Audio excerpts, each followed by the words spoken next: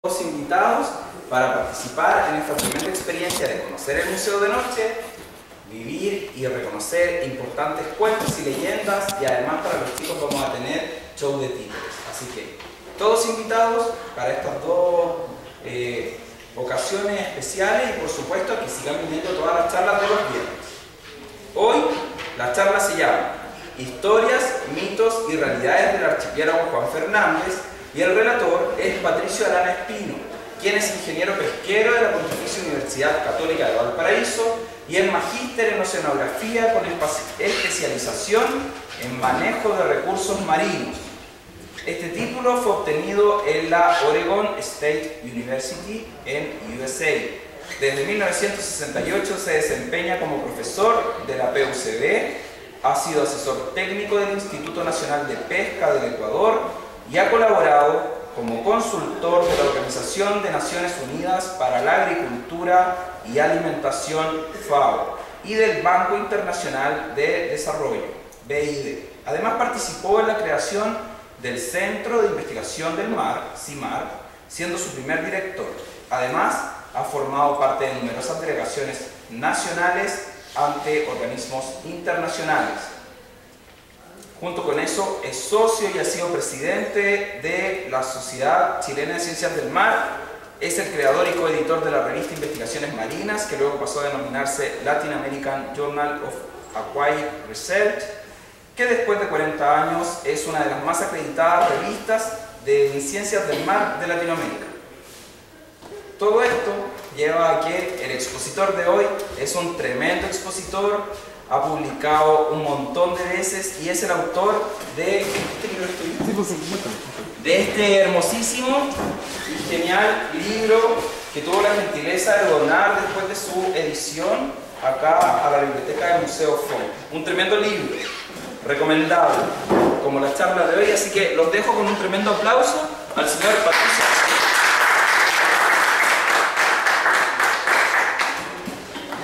Muchas gracias. Para mí es muy grato eh, poder eh, dar esta charla y que contribuir, aunque sea con un granito de arena, al conocimiento de estas islas que eh, lamentablemente han entrado a, un conocimiento más profundo de la ciudadanía chilena, no por los hechos positivos que, que corresponden al archipiélago, sino que por los lamentables desastres que han habido, tanto con el tsunami como posteriormente por la situación del drama que hubo con la, pérdida del avión Casa 202.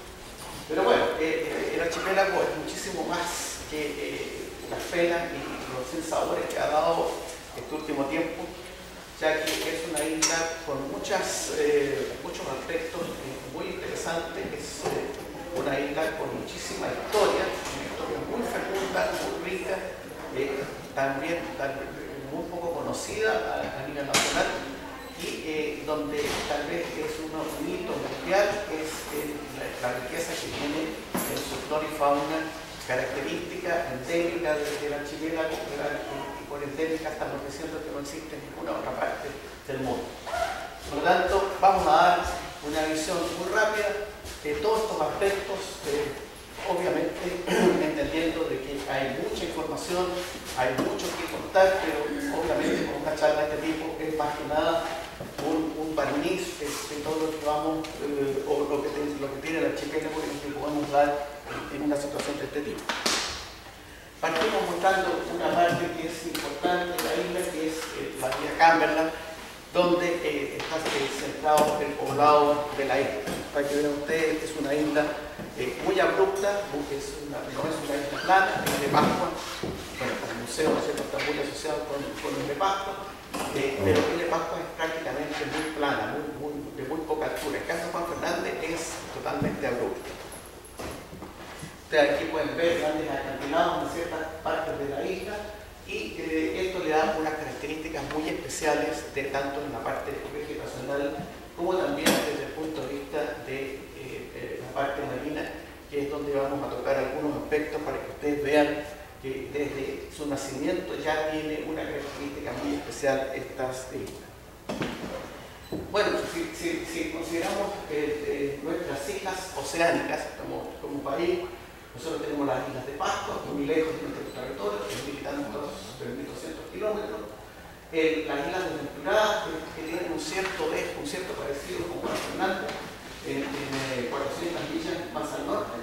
El archipiélago que Juan Fernández, ubicado frente a la costa de, San Antonio, a 365 millas, esto es un poquito más de 600 kilómetros de la costa continental. Y la gracia que tiene es que eh, esa distancia que aparentemente es tan poca, que son apenas, si, fuéramos en un, avión comercial, eh, eh, estaríamos ahí en 45 minutos, pero ese, ese lapso o esa distancia que si, lo comparamos nosotros con un poco más arriba de la Serena o, a la Concepción, nosotros tenemos características totalmente distintas al clima que vamos a tener en la zona continental. ¿Por qué? Porque es una isla oceánica y tiene particular es que está al borde exterior del sistema de corriente de Humboldt, es decir, el sistema frío que, que, influye hacia el norte a lo largo del continente sudamericano. Nosotros eh, encontramos islas que están justo en el borde exterior, por lo tanto, tienen condiciones eh, de, clima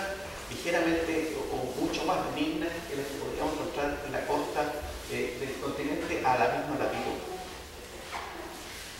De ahí entonces ya empezamos a encontrar diferencias. Bueno, ahí está el, conjunto del archipiélago de, llamado Juan Fernández, está compuesto por tres islas, la isla Robinson Crusoe, que por muchos años se le llamó Masa Tierra, la isla Santa Clara, que está pegada a esta isla, prácticamente separada por una milla de distancia, y a 90 millas hacia el oeste, o sea, más hacia el mar abierto, está la isla Alejandro Selke, que también se le llamó por muchos años como isla de más, afuera. El poblado está en Isla Robinson Crusoe, el, poblado principal, permanente, y eh, eh, tiene alrededor de 720 habitantes, término medio, poquitos más, poquitos menos, dependiendo de las épocas que los pescadores viajan de una isla a otra, o que los niños se vienen al continente a estudiar, en fin, el, tráfico y los veraneantes en el verano que llegan aprovechando el buen clima decía que hay cosas interesantes en, nuestro archipiélago. Y es el hecho de que el, archipiélago confundante está colocado frente a la costa de lo que sería Valparaíso por acá. A poco andar de nuestro, si, navegamos en dirección al oeste, nos vamos a encontrar con la fosa eh, que, puede llegar a 6.000, 7.000 metros de profundidad frente a la costa chilena. Y mucho más lejos nos vamos a encontrar con una serie de cerros submarinos que están orientados en una línea, prácticamente en una línea. ¿Por qué se, produce este, esto que es tan llamativo si uno lo, empieza a analizar? Primero que nada, tenemos que distinguir que tenemos el continente sobre una placa continental, es decir, un trozo del planeta Tierra que se llama la placa sudamericana.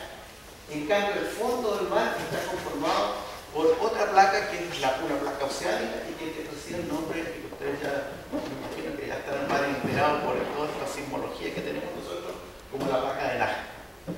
Estas dos placas convergen. El, continente sudamericano, la placa sudamericana avanza hacia el oeste y el fondo marino avanza hacia el este. Por lo tanto, se va produciendo una superposición entre las dos placas. Pero quiero que haya una característica muy especial, que bastante, eh, eh, alrededor de, 800 millas más o menos para afuera, frente a, San Antonio, existe lo que se conoce con el nombre de hotspot. ¿Qué es lo que es ese hotspot? Es un lugar que eh, por lo menos el conocimiento que tenemos nosotros, es que es un lugar fijo en la corteza terrestre en que se produce cada ciertos cientos de miles de años grandes erupciones y sale magma desde el fondo de la Tierra. ¿Y qué es lo que, qué es lo que hace esto? Como la placa se está desplazando, pasan los años y no pasa nada, pero llega un momento en que se produce la explosión y ¿qué es lo que genera? Genera una montaña submarina. O sea, es tal la cantidad de magma que sale que puede formar una cordillera submarina y en los casos más emblemáticos, como podría ser en el caso de Robinson Crusoe y Alejandro Selke, la cantidad fue de tal magnitud que significó que esta acumulación de, magma aparece sobre la superficie del océano y se transforma entonces ya en lo que es una isla. ¿Por qué decimos que nosotros sabemos que se va desplazando? Entonces, la medida que se generó eso, ese estaba aquí. Pero se corrió la, Tierra a 8,5 centímetros al año, pasaron 200.000 años, 500.000 años y se produjo un segundo cerro.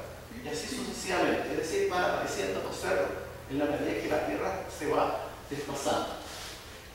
Y ahí ustedes pueden ver que esta, la isla Robinson Crusoe se calcula que tiene entre 4 y 5 millones de años de antigüedad. En cambio, la, isla que está más al oeste, que es Alejandro Selkirk, tiene apenas 2, a 2 millones y medio de años de antigüedad. Por lo tanto, pasaron entre la erupción que, que, dio origen a Robinson Crusoe pasó prácticamente 2 millones y medio de años hasta que volvió a producirse esa explosión de, fondo marino y se generó hasta él. Y entre medio hubo erupciones también significativas, pero nunca en la magnitud como para poder generar tal cantidad de, fondo que apareciera sobre la superficie terrestre. Entonces, por eso que tenemos nosotros un cordón submarino que tiene un montón de, importancia, por eso que forma esta línea recta, porque se va desplazando en una sola dirección el fondo de la placa de Nazca.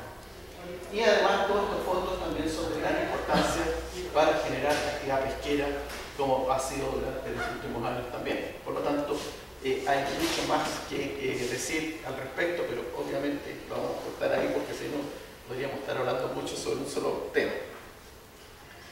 Si alguien quiere hacer una pregunta, yo soy profesor, así que no hay ningún problema, me interrumpe y para que no quede nada. ¿Qué, ¿Qué, tan altas son esas montañas submarinas? ¿Qué tan altas? Sí.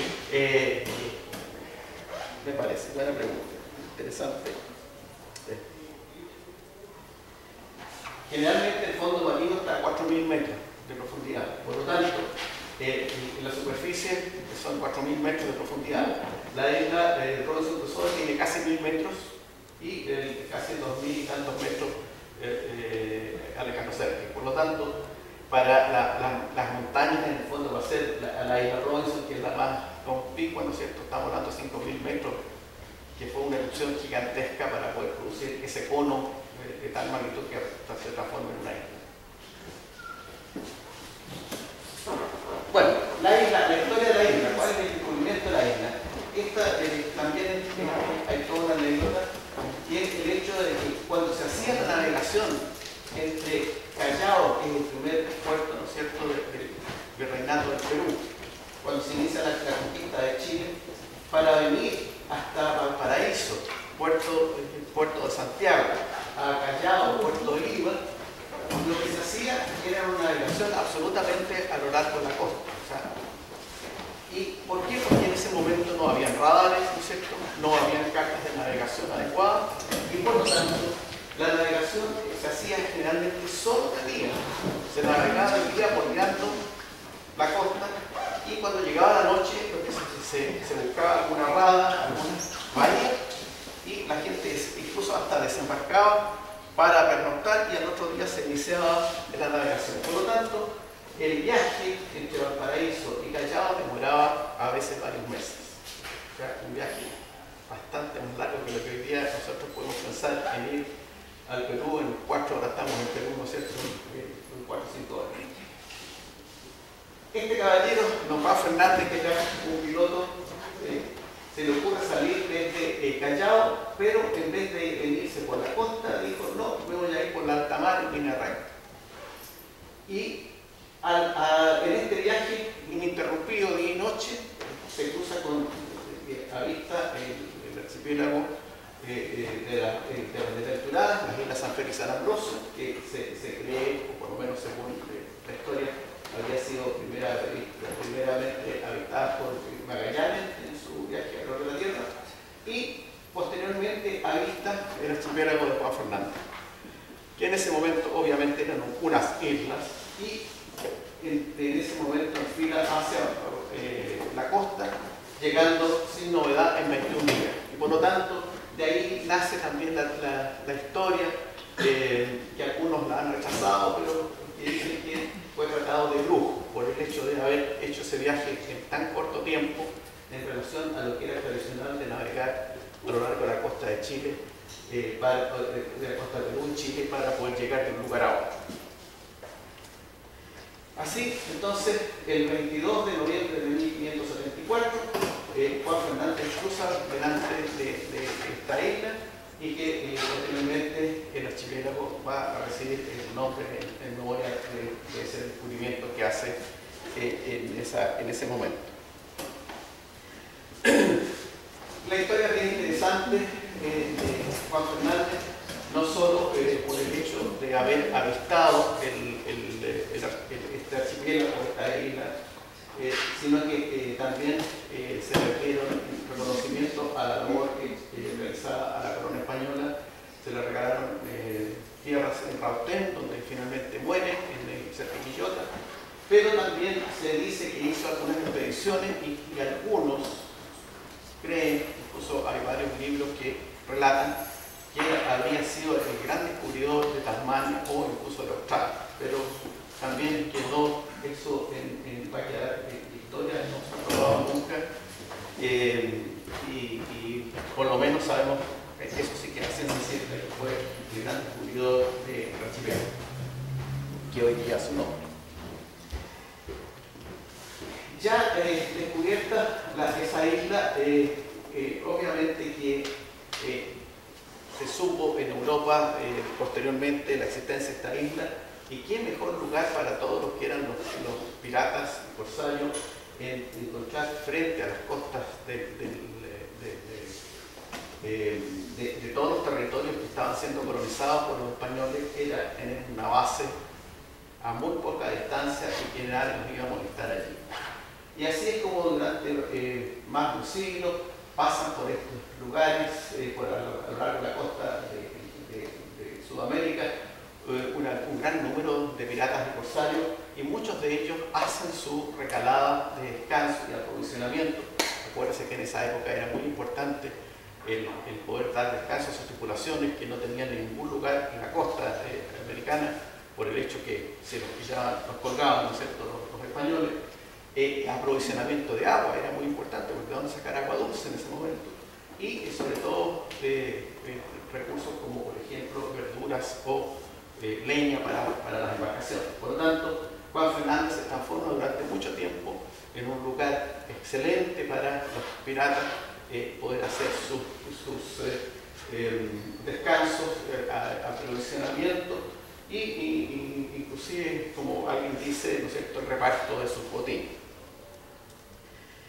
En una de estas, uno de estos viajes llega uno de las, una, un, nave y un, tripulante de, de, de, una de estas naves corsarias según la historia, algunos dicen que sí, otros que no, pero en fin, hay varias, varias también explicaciones.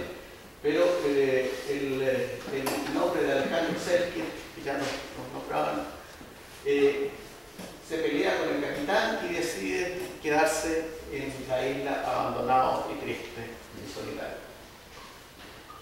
algunos dicen que no fue así, sino que el capitán lo dejó, no, no voluntariamente, sino que fue dejado en la sea como sea, el tema es que él estuvo cuatro años y cuatro meses en vida solitaria en, esta isla. Eh, y eh, afortunadamente para él, no, a pesar de que varias veces llegaron buques españoles, logró eludir a, los, españoles porque sabía perfectamente que si lo encontraban lo iban a colgar como, como pirata en, esa época.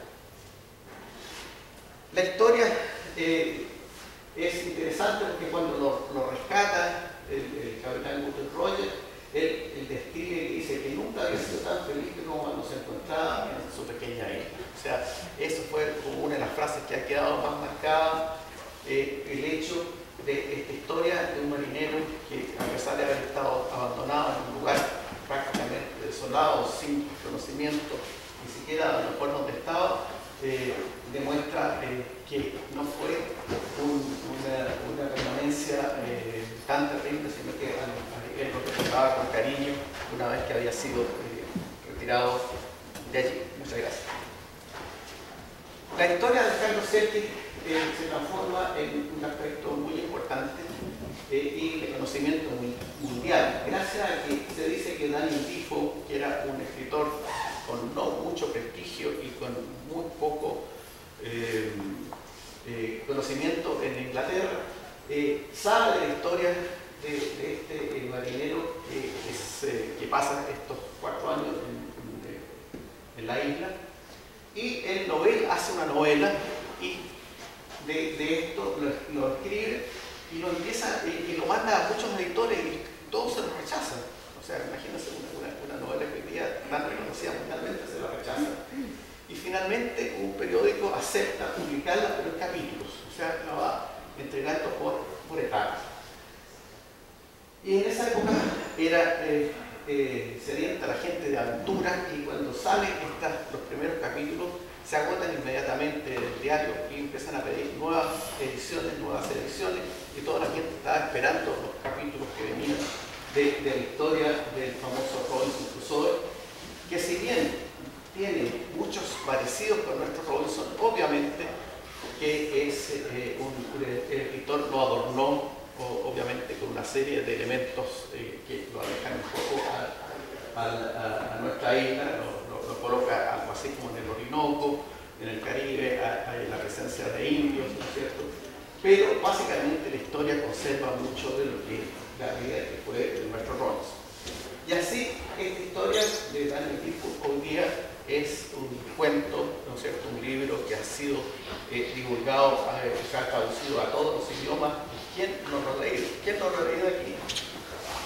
Cante la vara que nos lo ha leído. No lo ha leído usted. Vamos a tener que recomendárselo que lo lea. Es bien simpático el libro. Pero bueno, afortunadamente no solo eh, el libro eh, ha sido muy popular, sino que también se han hecho muchas películas muchos textos se han hecho alrededor o eh, referente a, esta, eh, a, esta, obra e incluso hay muchas obras de, de, muchos eh, televisión, ¿cómo se llama? películas de tele, para la televisión, seriales de televisión que se han hecho con la historia de Robinson Crusoe. Por lo tanto, es realmente extraordinariamente divulgado el tema y por lo tanto hoy día es eh, cualquiera que uno hable de Robinson Crusoe, con la excepción de una persona, eh, eh, conoce la historia más o menos en forma completa. Pero bueno, pasaron los años, esta historia sigue su, marcha y años después llega una, flota a, la isla de los ingleses comandada por el, entonces eh, George Hanson, que posteriormente fue nombrado como Lord por el almirantazgo eh, británico, y tiene la gracia de esta expedición de que es la primera en la cual se hace un relevamiento científico del archipiélago. Y los ingleses tenían eh, la, misión de ver la posibilidad incluso de apoderarse de la isla y transformarla en un bastión inglés. Sin embargo, eh, tuvieron una gran penuria en su navegación eh, de, Inglaterra hasta eh, Juan Fernández, llegaron en condiciones deplorables, un, navío y posteriormente llegaron algunos otros, y por lo tanto siguieron sus correrías por el mundo. Y a raíz de eso, España toma conciencia de la importancia que tenía el archipiélago como un lugar estratégico y decide por hacer un fuerte y construye lo que hoy día se conoce o se conocía en ese momento como el fuerte de Santa Bárbara, que tiene la gracia de que es el único fuerte insular existente en el Pacífico Sur. Un fuerte que, también por varios eh, terremotos y tsunamis que han habido en, la isla eh, ha sido destruido y reconstruido varias veces. Y hoy día está en condiciones bastante a las chilenas, digamos, no podemos decir algo más. Eh, requeriría una mejor conservación, indudablemente, por las características que tiene y es uno de los lugares tal vez más visitados de la isla. Eh, se han hecho esfuerzos, hay un grupo de la Universidad de Chile que hace por allá por los años 70 y, trató de, de, hacer mantención al fuerte, hubo excavaciones, pero eh, es lo único que se ha hecho al respecto. Si nos miramos desde arriba, ustedes pueden ver aquí que hay los restos de lo que es fuerte.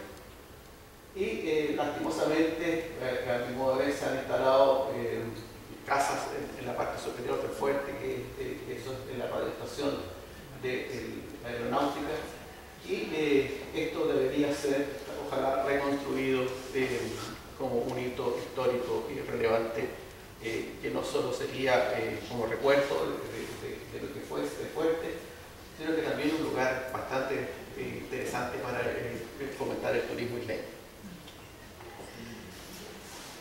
Llegan los tiempos más modernos, eh, comienza la independencia de Chile, pero ustedes saben que comienza mal, ¿no es cierto? después del desastre, de Rancagua, a todos los patriotas los mandan a la isla de Juan Fernández y se están ahí durante bastante tiempo eh, abandonados a su suerte.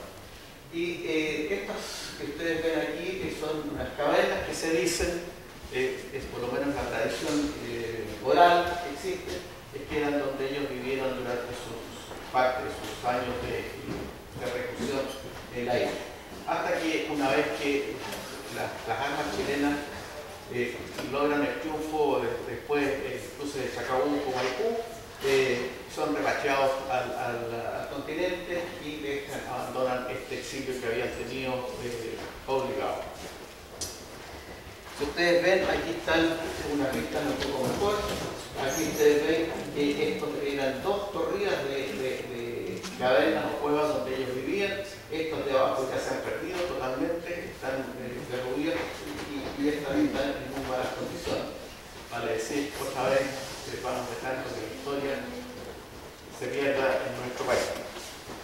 Bueno, los patriotas, los, los, los, grandes hombres de Chile, eh, fueron todos ellos los, luchadores de la independencia de Chile y que fueron realmente los, hombres claves para eh, independizarnos de España. Siguen los años y siguen los hechos de guerra. Uno de los también famosos eh, hechos que, transcurren en, el archipiélago es la batalla que se produce durante la Primera Guerra Mundial, en que el buque alemán Dresden eh, combate con las fuerzas inglesas. Pero vamos por parte. ¿Qué es lo que significa esto? Cuando se declara la, Primera Gran Guerra, la flota del almirante Graf von Spee eh, en esa época una fuerza alemana eh, importante se encontraba en la zona de eh, Oceanía y, formaba parte de esta, de esta flota el buque Dresden. Se declara la guerra mundial y esa flota se desplaza hacia el Pacífico, en la zona sudamericana.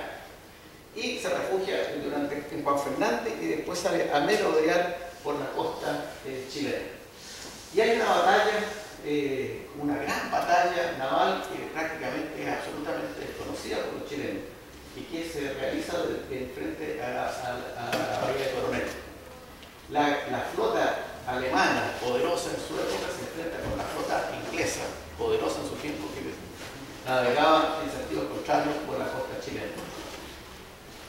Y en esa batalla los alemanes destruyen dos grandes museos, en que el almirante Carlos muere caminante inglés y 1.600 hombres pierden la vida y quedan presos con barcos muridos frente a, a, la bahía de Prácticamente yo estoy seguro que muchos de ustedes no tenían idea que había en la Primera Guerra Mundial una gran batalla naval con todo su, como lo vemos hoy día en el cine, ¿no es cierto?, con todo su, su, su, dramatismo. Y, eh, y, finalmente entonces eh, la flota alemana eh, se va nuevamente a refugiar a Juan Fernández y mientras los alemanes, eh, mientras perdón, los ingleses eh, quedan absolutamente enojados, tristes y muy indignados por la derrota que habían tenido frente a la flota alemana. Los alemanes, muy enorgullecidos y muy confiados por la situación que lo que había sucedido, deciden ir a atacar eh, las islas, según como quieran, Malvinas o Falkland, según en qué lado se pongan ustedes de, de, de, ¿cómo se llama?, posición política, eh, y se, se, deciden a ir a atacar ese, lugar. Pero los ingleses concentraron allí una gran flota también. Y en el momento en que la flota alemana va a atacar la isla Malvinas, que es Port Stanley, la, principal de la isla, sale la flota eh, inglesa y después de una batalla muy breve destruye a todos los buques alemanes, a todos, con una sola excepción. A mí, imagínense cuál, el que recibe orden del, almirante eh, alemán de abandonar la batalla y retirarse. Y eso ha prestado también muchas controversias respecto a por qué el, recibe esa orden el, Dresden de retirarse de la batalla. Algunos piensan que porque llevaba algún tesoro, o sea, oro, mucho oro. Por lo tanto, era, había que salvar ese buque eh, cuando el resto, todos son hundidos en, eh, cerca de la Malvinas. Y el buque de Dresden, cumpliendo las órdenes, porque no lo había cumplido cuando dicen vaya a la batalla, cuando sabe que están todos siendo hundidos, ¿no es cierto? Y se refugia en los canales australes y chilenos. y ahí permanece durante varios meses, apoyado por la colonia alemana, que desde Punta Arenas lo proveía de información, de víveres. Y mientras los ingleses lo buscaban afanosamente a lo largo de la costa de Chile eh, y por los canales, eh, eh, tratando de ubicarlo para hundir este último mundo. Finalmente, el Dresden decide abandonar los canales chilenos, avanza hacia el norte, se cruza con un buque, alemán, un buque inglés, pero lo confunde con un buque chileno y logra escapar y finalmente llega a dónde? Juan Fernández. Otra vez vuelve a Juan Fernández el Dresden. Ahí eh, espera aprovisionamiento de, buques, eh, especialmente carbón, que estaba sin carbón, bueno, sé que estamos hablando de años de Primera Guerra Mundial.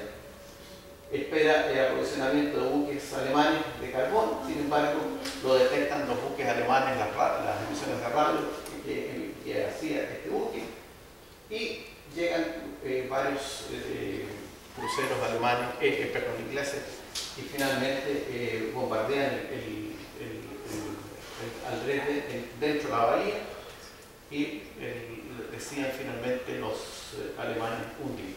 O sea, lo hunden antes de que caiga en poder de los eh, alemanes, de los perdón. Aquí está el Dresden en, sus últimos minutos, los últimos segundos, diría yo, en la bahía de Cámara, en Juan Fernández, mientras se está hundiendo la gente, los tripulantes alemanes son naturalizados, o sea, son, son tomados presos porque Chile era neutral en ese momento, eh, eh, son llevados a Valparaíso y posteriormente a la isla Quiriquí. La historia también es muy rica porque hay un grupo de estos alemanes que se escapa de ahí, eh, consigue una goleta y emprende viaje hasta Noruega. Por lo tanto, hay toda una historia que sigue, y hay una serie de libros eh, bien interesantes eh, que relatan todas estas aventuras que continúan con, los tripulantes del, del Bueno, el Dresden ha dado más historia. Eh, hace algunos años atrás fue rescatada la, campana del, Dresden por un equipo de buceo. y esta campana fue mandada a Alemania, a la ciudad de Dresden, en préstamo ese préstamo para hacer tenga fin y que vuelva la campana. Eh, me preocupa eh, que nosotros los chilenos somos muy, desprendidos y no guardamos las reliquias. Eh, aquí hay restos de los proyectiles que están en, algunas partes del cerro que, fueron los, disparados por los ingleses y una placa recordatoria en la tumba de los pocos marinos que murieron en este combate. Bueno, ese es un mundo, el mundo histórico, ya se los he relatado de forma muy, rápida, muy breve, pero hay otro mundo eh, importante en el archipiélago que es el mundo subacuático, en el cual, con el cual estoy mucho más relacionado porque es mi, profesión. Eh, Muchas de las especies, como ya les dije, tanto terrestres como las marinas, son endémicas y por lo tanto hay eh, muchos recursos eh, de mucho interés también en estas islas. Caso eh, especial, por ejemplo, es el lobo fino de Juan Fernández, que eh, durante muchos años se pensó extinguido porque fue cazado por, por varios millones durante los siglos XVIII y XIX por loberos norteamericanos principalmente. Y llegó un momento en que se pensó que se había eh, estaba extinguido, extinto este recurso. Sin embargo, a mitad del, siglo pasado se encontraron algunos ejemplares ya y esto se ha recuperado de forma notoria y muy satisfactoria en el, en el. Ustedes pueden ver las loberías hoy día en las playas de la isla, hay decenas o centenas y en, en este momento se calculan cerca de 10.000 ejemplares los, eh, los lobos que hay en el, archipiélago. Eh, ¿Existe alguna política de cuidado de estas especies endémicas por el Eh, turismo? ¿En general o de, de del- este no, lobo? no, del, del archipiélago. De- sí, no, no, Claro, ah, porque el sí. turismo ha ido... Sí, eh, bueno, en, en el caso eh, especial de este lobo, para por ponerlo como ejemplo, eh, hay absoluta prohibición de, de caza o matanza de, de- este ¿Y lobo. de las otras especies? De las otras especies, la mayoría están protegidas, en mayor o menor grado, pero eh, el deterioro, por muchas razones, eh, ha avanzado más rápido de que, las medidas de, protección que se han impuesto. Y por, por causas que la vamos a, a- a tratar de, de- de darle algunos toques. Ahí. Ok, entonces este es un recurso emblemático de la isla, es, es un, eh, es un lobo que tiene su historia eh, y que afortunadamente es un- una muestra palpable de la recuperación de que ha habido un recurso que se pensó eh, extinto. Aquí ustedes pueden ver una- también una lobería, eh, ahí pueden ver que los puntitos negros, todos esos son lobos marinos que están eh, en el agua. Eh, por lo tanto, son loberías bastante eh, localizadas eh, alrededor de la isla, pero son muchos miles de ejemplares que hay hoy día. O sea, por lo tanto, está absolutamente fuera de todo peligro eh, este, este recurso y, como les decía, eh, no se permite su caza eh, ni, ni matanza.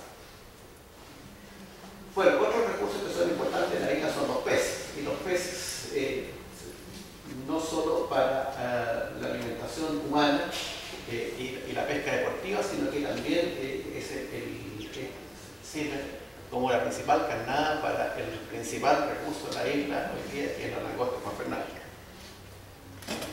Aquí pueden ver ustedes algunas imágenes eh, de lo que es la pesquería de la langosta de Juan Fernández. Ahí pueden- pueden ver que aquí ya están listas para, ¿no es cierto?, para su comercialización. Eh, eh, la- las trampas que se utilizan para la pesca de este recurso. Ahí están los peces que se usan para carnada. Y aquí ya las pueden ver ustedes listas para la regla. Lamentablemente, pero esa- esa- ese es el pan de, de Hoy día. Eh, la gente eh, el- prácticamente eh, el, ingreso más importante de, la isla es la pesca y, dentro de la pesca el recurso más relevante es la langosta. El otro recurso que, que tengo mucho cariño porque eh, he sido el descubridor de este recurso es el cangrejo dorado Juan Fernández, es, un, es, un, es una especie de jaiba de gran tamaño que puede llegar a pesar un medio. Sin embargo, no era conocida en la isla porque eh, habita profundidades de 500 metros y más, de 500 a 1000 metros de profundidad, y por lo tanto eh, no era eh, el, el rango habitual de pesca de los pescadores de la isla. Eh, en una campaña de pesca exploratoria que hicimos a través de la Universidad Católica, hicimos una prospección hasta 2.000 metros de profundidad y encontramos este recurso y que hoy se ha transformado como un recurso alternativo a la langosta o complementario y que eh, curiosamente la gente que lo ha consumido lo llega a preferir ahora a la langosta, o sea, lo encuentran mucho más eh, agradable que la misma langosta. Eh, y es también ha contribuido a eh, mejorar la situación económica de los pescadores porque les da una alternativa también de pesca. La otra cosa que también, a pesar por mucha modestia lo digo, pero que no me alegra mucho, que tanto en el caso de la langosta como el cangrejo bravo reciente, para esto hace unos pocos días, eh, se lograron las indicaciones geográficas. O sea, el Estado de Chile les dio la indicación geográfica a los dos recursos. Uno fue en diciembre del año 2011 y este eh, ahora hace un- dos días atrás le, le otorgó la indicación geográfica y que nos denomina en ese sentido como recurso único y exclusivo de estas islas y para, eh, que es una, una patente, en, en el fondo se patenta el recurso como único de estas islas. Para hacer la idea como la denominación de origen de la... En la denominación de origen, exactamente. Son dos trabajos que hice yo para poder, que los presenté a la INAPI, que es el Instituto eh, de Patente Industrial eh, chileno, y las dos fueron otorgadas, y, y esta es una primicia porque, eh, como les digo hace dos días, que se, ya se otorgó para el complejo. Bueno, otra importancia que tiene eh, la isla es obviamente que por sus características eh, botánicas especialmente, eh, y, muy menos en, en sentido de parte zoológica, pero en 1935 fue declarado como parque nacional. Esa es una, una- una característica muy importante. Y el 77, 1977, el archipiélago es declarado por la UNESCO como reserva de la biosfera. O sea, no solo tenemos un- una declaración nacional, como sería el Parque Nacional, sino que es un reconocimiento internacional como una reserva de la biosfera. O sea, el, el mundo mira al archipiélago como un, un sitio importante y por eso es que recibe esa denominación muy especial. Sin embargo, eh, y, y lamentablemente, perdón, No quería preguntar, eh, con respecto al salmón de roca o bacalao, también es propio de la isla. no, no, no. Ese es el gran problema. Eh, para poder eh, eh, obtener una indicación geográfica tiene que ser eh, de un área muy determinada. El, eh, el bacalao de, el bacalao de Juan Fernández, acá no le llaman mero también, se encuentra en, la costa sur de, Chile, en la zona de Canales. E inclusive pareciera ser que también tiene primos hermanos eh, o, es la misma especie en Pascua e incluso en Nueva Zelanda. Entonces eh, eso complica el, el poder definirla como indicación geográfica. Ahora estamos tratando de buscar otros recursos, pero de otros lados, porque Juan Fernández ya va a ser más complicado encontrar algún recurso con estas características. Eh, les decía que eh, el patrimonio botánico de la isla es, eh, es altamente reconocido a nivel mundial. O sea, muchas expediciones vienen de, todas partes del mundo a estudiar la flora de, este archipiélago por sus características endémicas, que son, eh, acuérdense que es, una isla que está aislada por muchos cientos de kilómetros de otras partes de, de- de- terrestres y que eh, por eso que tiene algunas características de eh, zonas eh, de Oceanía, características del altiplano boliviano, tiene características del continente chileno, pero que por los años transcurridos del aislamiento se han transformado en especies especiales, o sea, únicas, endémicas.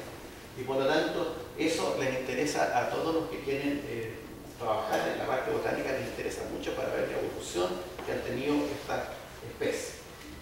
Sin embargo, y ahí eh, con la pregunta que me hacía de las conservaciones, donde tenemos bastantes problemas, porque así con la llegada del ser humano, Juan Fernández, eh, se, introdujeron algunas especies que son altamente dañinas para eh, la flora nativa, como por ejemplo, partiendo por la zarzamora, que se llevó para establecer cercos, ¿no es cierto? Porque es la crítica de nosotros, ¿no es cierto? Se hace un cerco y se ¿qué mejor para separar, ¿no es cierto? Zarzamora. La zarzamora ha invadido gran parte del, archipiélago. Eh, perdón, de la isla Robinson Crusoe, porque la, la- la otra todavía se mantiene eh, sin problema. ¿Cuál es el, el daño que hay? Que los zorzales, que también son introducidos, eh, comen y defecan la- las pepas, ¿no es cierto?, la zarzamora en el resto de la isla y va apareciendo entonces la zarzamora en todas partes. Y no sé si ustedes han tenido experiencia con la zarzamora, pero eh, tiene un crecimiento terrible porque basta un tallo, un pedazo de zarzamora que, que cae a la tierra y sale la planta. Entonces es muy difícil combatirlo. Otras especies como el maqui, por ejemplo, que también fue llevado a la isla. Eh, esa pepita negra, ¿no es cierto?, que, que algunos hacen chicha por ahí, ¿no es cierto? Eh, pero esa pepita también la comen los zorzales, la esparcen por, por toda la isla y el maqui es, es un elemento sumamente eh, difícil de combatir.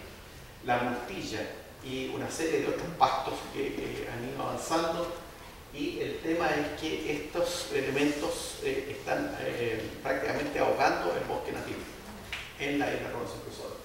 Por lo tanto, es muy difícil por, la- las características que yo también les dije, eh, esos, murallones, es muy difícil poder combatir la introducción de, una flora eh, eh, ¿cómo exótica, eh, poder combatirla eh, dentro de, la isla. Eh, entonces, eh, hay medidas, pero las medidas a veces no, no son lo suficientemente capaces de controlar la, realidad de un, lugar. El, el otro tema es, por ejemplo, que se cree, se dice que los piratas fueron los que introdujeron las cabras eh, eh, a la isla eh, para proveerse de, carne en sus correrías. Entonces, cuando volvían ellos encontraban cabras, cazaban y tenían carne. Pero las cabras son altamente dañinas también para combatir las floras nativas. Y por lo tanto, esa ha sido una de las campañas que se ha hecho a nivel de, de CONAF, la Corporación Nacional Forestal, es de extinguir las cabras con el fin de evitar que las cabras destruyan la- la capa vegetal del aire. Bueno, después se introdujo eh, todo lo que son caballares, mulares eh, y ganado, y eso también obviamente trae como consecuencia una sobreexplotación de, la tierra, eh, de, de la isla. Y por lo tanto, después de los años 60, 70, eh, se empezaron a disminuir todos estos, todo lo que es la flora eh, externa, la- perdón, los animales introducidos, de tal manera de aliviar la vegetación del archipiélago. O sea, las medidas se han ido tomando, pero no es fácil por el daño que ya ha sido causado. Otro animalito muy característico que se habla mucho también de en la isla es el picaflor rojo Juan Fernández. Es un- una ave muy bonita. Eh, se pensaba que este animal y este eran dos especies diferentes, pero después se, determinó que este era el macho y este era la hembra. Entonces eh, es una sola especie y que macho y hembra tienen dimorfismo sexual, o sea, son totalmente diferentes. Es una especie eh, muy hermosa que siempre se refiere eh, los trabajos relativos a la isla, a este picaflor. Sin embargo, se habla de que habrían menos de 500 ejemplares ya vivos, cuando una, una, una, eh, población de, de- sobre 10.000, según algunos, eh, hoy dirían 500 y con algunos hablan de que son aún menos. Por lo tanto, es es un animal que está en lista roja en cuanto a conservación. Y es muy difícil solucionar el problema, porque eh, la, mayor culpa eh, que dicen de la extinción es, eh, podría ser atribuida a los gatos de la isla. Porque estos, estos pajaritos, como no tienen el, miedo a los animales, se acercan a la población, van a arribar a las flores y los gatos que están ahí mirando se les tiran encima y los atrapan. Eh, otras, otras culpas también se le echa a, la- flora que- que se ha alterado en la isla, pero pareciera ser que los gatos es uno de los elementos más dañinos para esta, esta ave. Lo más característico y más relevante de, la chilena son precisamente los helechos. las damas les encantan los helechos, no sé por qué, pero eh, son eh, únicos en la isla, eh, muy hermosos, eh, hay una gran variedad de. Hay arbustivos, o sea, con, troncos, hay otros que son el típico helecho nuestro casero. Y bueno, y la otra, eh, los panquionalcas, eh, también son de grandes dimensiones, eh, similares, que son especies a la del sur, pero muy similares a las que también encontramos en la, costa sur de Chile. Bueno, la, la- si bien la, parte costera es eh, bastante poco verde, muy seca, pero las partes altas concentran la lluvia y por lo tanto es un lugar en que eh, vamos a encontrar mucho lecho y una, especie de selva fría eh, muy, muy bonita. Aquí ustedes pueden ver los, los murallones que to- no están todavía intervenidos por la flora exótica y ustedes pueden ver los matos de, de- de los helechos y espe- otras especies nativas. Bueno, la gran pregunta de, de- de esta isla es, eh, bueno, es su historia de partida y muchos, muchos aspectos que son interesantes, como por ejemplo, hay, hay toda una historia de, de- de la participación de la Marina en, la, en, en el archipiélago. Aquí, por ejemplo, ustedes ven ahí estaba la radioestación de, de la isla, era la única comunicación que había con el continente en, en el siglo pasado, eh, sobre todo al comienzo del del siglo, a mitad del siglo, y era bastante terrible porque eh, la única comunicación que tenía el poblado, que está aquí abajo, ¿no es cierto?, era a través de una radio que estaba eh, arriba del cerro. Y por lo tanto, toda la comunicación, si uno quería mandar un mensaje al continente, había que subir el cerro, entregar el mensaje arriba, transmitir. Y lo triste era que cuando llegaba un mensaje del continente, levantaban una bandera con algún, algún símbolo para que alguien fuera a buscar el mensaje. El problema es cuando le pedían la respuesta, porque tenían que volver, que volver a subir a dejar la respuesta para que lo volvieran a transmitir. Bueno, todo esto eh, forma parte de, de la historia de, de, del archipiélago. Ya después esto eh, se, se deja abandonado, ya entran las comunicaciones eh, de radiofonía y, y después llega eh, la, la telefonía eh, y que lamentablemente se destruye con el, el tsunami y después llegamos ahora a los celulares, que todo el mundo ya hoy día tiene celulares, así que no hay problema. Las comunicaciones son al instante. Eh, la Plaza de los Cañones, dentro de, de- de la, zona costera, eh, estos fueron instalados para la Segunda Guerra Mundial por temor a que pudieran, eh, pudiera haber algún, algún desembarco alemán, dado que también hay una serie de historias en que algunos alemanes que volvieron de- después de- del hundimiento del Dresden en la Primera Guerra Mundial, volvieron algunos alemanes y se instalaron en la isla. Entonces se, suponía, algunos incluso acusaron a estos alemanes que radiaban a los submarinos eh, alemanes que podrían andar en el, Pacífico y por lo tanto eh, Chile toma la decisión de, de llevar infantes de marina, un- una, un- una- compañía de infantes de marina instala los cañones para defensa del archipiélago Juan Fernández contra los buques alemanes que nos podrían invadir.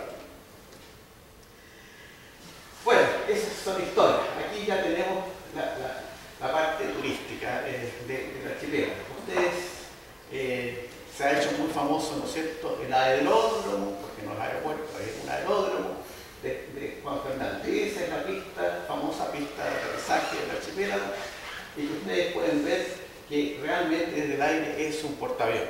Es un portaaviones, lo único de gracia que tiene es que no se mueve, pero es un portaaviones. Hay un acantilado de alrededor de 300 metros en los dos extremos, y por lo tanto aquí el avión tiene que enfilar y aterrizar en esa pista eh, que afortunadamente ahora eh, eh, es de buena calidad, está asfaltada, pero hace unos